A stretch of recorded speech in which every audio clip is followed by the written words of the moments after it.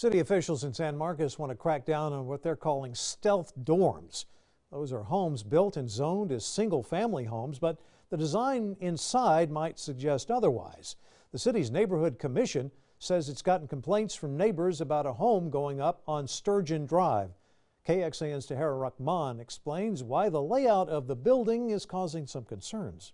When I first saw it, I was happy because that lot's been empty since we've been here. But once this building went up, Stephen Wall worried what was being presented as a single family home may not actually be one. The fact that this is a four bedroom, four bath means it's not a single family dwelling, which is what all this is zoned for. Elizabeth Dobbins with the San Marcos Neighborhood Commission says each bedroom has its own bathroom with no common access, and that raises a red flag. A lot of the times what they're doing is defraying their own costs because then they rent out the, the bedrooms individually to whomever and they make more money off of them. It's what the city calls a stealth dorm. Something that is being built ostensibly for the purpose of a single family and instead it's housing unrelated people. But this building is technically following code. So I asked Dobbins why the permit was granted in the first place. I'm not too sure it would have come up on the radar screen per se.